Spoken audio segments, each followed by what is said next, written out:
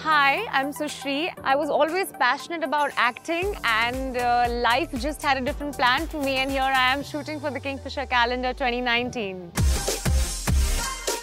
It was first Miss India, then my international pageant, Miss India United Continents. It was just like one dream after the other I was living and then shooting with Atul was always a dream.